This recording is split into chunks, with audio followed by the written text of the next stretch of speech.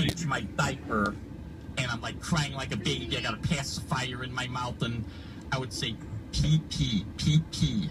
And Tree. the prostitute would say, Tree. if little Porky, if you want me to change little Porky's diaper, big Porky's got to pay me $50. Porky's the name of the character in the movie.